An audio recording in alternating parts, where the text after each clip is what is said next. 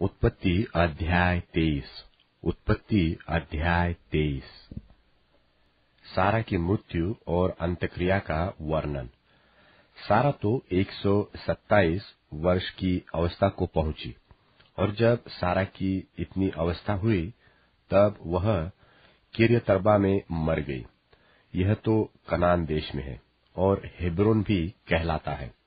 सो इब्राहिम सारा के लिए रोने पीटने को वहाँ गया। तब इब्राहिम अपने मुर्दे के पास से उठकर हित्तियों से कहने लगा, मैं तुम्हारे बीच पहुन और परदेशी हूँ।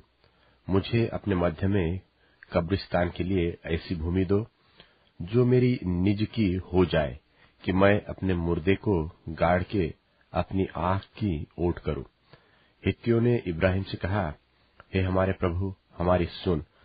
तू तो हमारे बीच में बड़ा प्रधान है। सो हमारी कब्रों में से जिसको तू चाहे उसमें अपने मुर्दे को गाड़। हम में से कोई तुझे अपनी कब्र के लेने से न रोकेगा कि तू अपने मुर्दे को उसमें गाड़ने न पाए। तब इब्राहिम उठकर खड़ा हुआ और हित्तियों के सन्मुख जो उस देश के निवासी थे, दंडवत करके कहने लगा यदि तुम्हारी यह इच्छा हो कि मैं अपने मुर्दे को गाड़ के अपनी आँख की ओट करूँ तो मेरी प्रार्थना है कि सोहर के पुत्र एप्रोन से मेरे लिए विनती करो कि वह अपनी मकपेला वाली गुफा जो अपनी भूमि की सीमा पर है, उसका पूरा दाम लेकर मुझे दे दे कि वह तुम्हारे बीच कब्रिस्तान के लिए मेरी निज भूमि हो जाए और एप्रोन तो हित्तियों के बीच वहाँ बैठा हुआ था। सो, जितने हित्ती उसके नगर के फाटक से होकर भीतर जाते थे, उन सबों के सामने उसने इब्राहिम को उत्तर दिया कि, हे मेरे प्रभु, ऐसा नहीं, मेरी सुन, वह भूमि मैं तुझे देता हूँ, और उसमें जो गुफा है, वह भी मैं तुझे देता हूँ। अपने जात भाइयों के सन्मुख मैं उसे तुझको दिया देता हूँ। सो अपने मुर्दे को कब्र में रख। तब इब्राहिम ने उस देश के निवासियों के सामने दंडवत की और उनके सुनते हुए एप्रोन से कहा, यदि तू ऐसा चाहे तो मेरी सुन। उस भूमि का जो दाम हो, वह मैं देना चाहता हूँ। उसे मुझसे ले ले। तब मैं अपने मुर्दे को वहाँ गाड़ूँगा।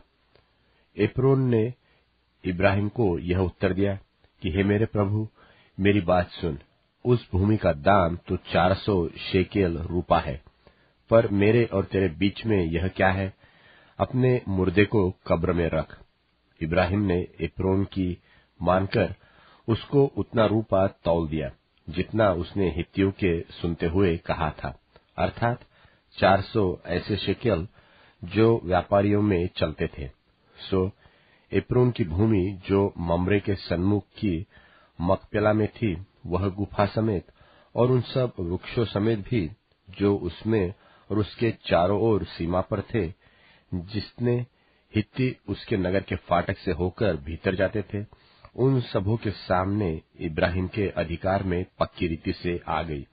इसके पश्चात इब्राहिम ने अपनी पत्नी सारा को उस मकपेला वाली भूमि की गुफा में जो ममरे के, अर्थात हिब्रोन के सामने कनान देश में है, मिट्टी दी।